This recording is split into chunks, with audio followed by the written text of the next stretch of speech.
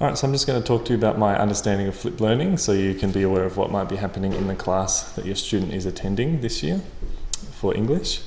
Um, basically, to me, flipped learning means that I will make videos for the students to watch. Their task will either to be do a worksheet, take notes on it, or post a comment to the video directly.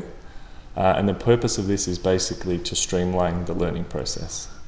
Uh, the system is very similar to university, whereby you do the work prior to coming to a class or a tutorial or a lecture, and the expectation is that you have a certain grasp on the topic already, and therefore that you're able to contribute more effectively in class. Um, we won't be doing this for all of our content, but we will be doing it for key things that I think would better be completed out of class and then clarified in class. Uh, and the goal is that in class we'll be doing higher order type thinking, and that should allow us to extend our learning much faster and much more effectively.